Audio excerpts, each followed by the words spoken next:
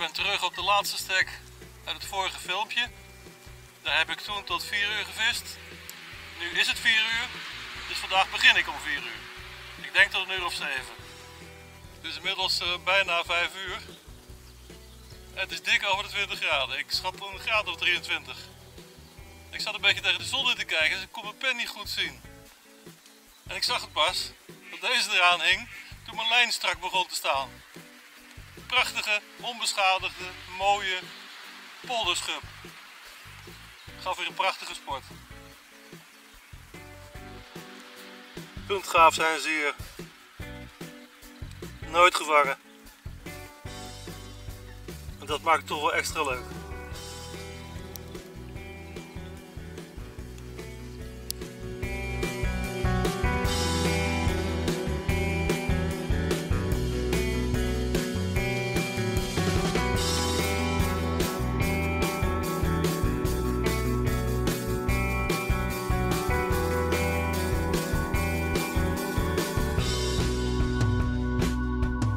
Is 6 uur geweest en ik stop ermee. Ik zit hier weg te smelten en bovendien heb ik honger. De belangrijkste reden is eigenlijk dat ik mijn pennetje bijna niet meer zie. De zon staat recht in mijn gezicht. Kijk maar.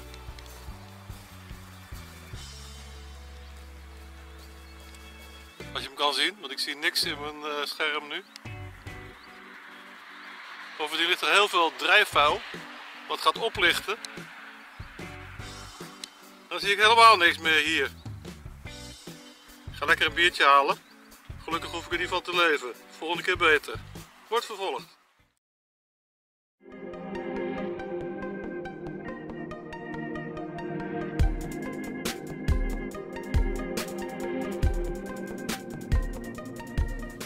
Ga vanmiddag een beetje rommelen met uh, verschillende aasaanbiedingen.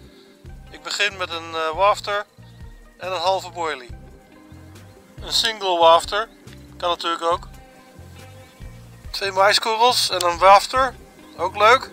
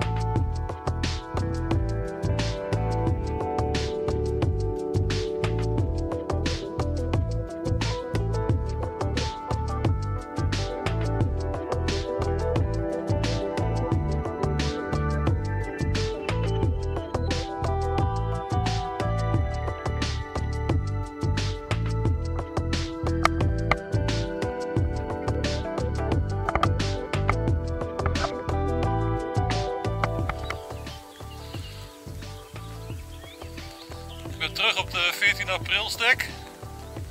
Het is een uur of, het zal het zijn, 1 uur denk ik. Midden op de dag dus. Prachtige vis. Het is nu nog een graad of 17. Maar het weekend wordt het uh, nou, een graad of 12 geloof ik. Dus denk ik, ga nog even snel. Nou, je snapt dat ik daar geen spijt van heb. Wat een prachtige vis en van de sport. Gewoon 30 meter door de slip na het aanslaan. Heerlijk. Ze zijn erg mooi hè, in deze polder.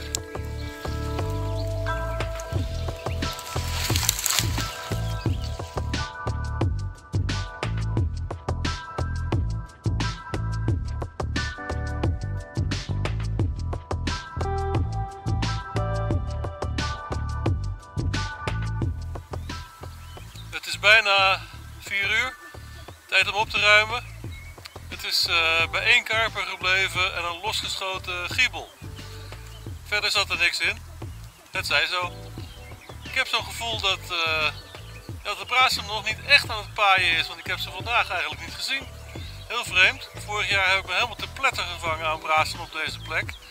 Dus ik krijg nu het gevoel dat volgende week, als de temperaturen weer gaan stijgen, de brasem echt serieus gaat paaien en dat de karper er dan meteen achteraan komt. Nou, ik heb de komende vijf dagen geen tijd om te vissen, dus uh, komt goed uit.